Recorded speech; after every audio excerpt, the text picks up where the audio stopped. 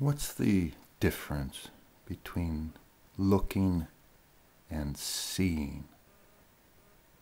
That's a very hard thing to understand.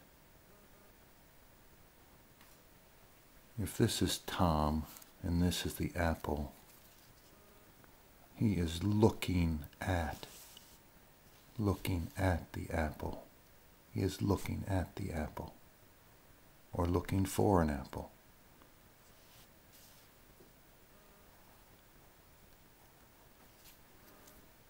He can see the apple. He sees the apple.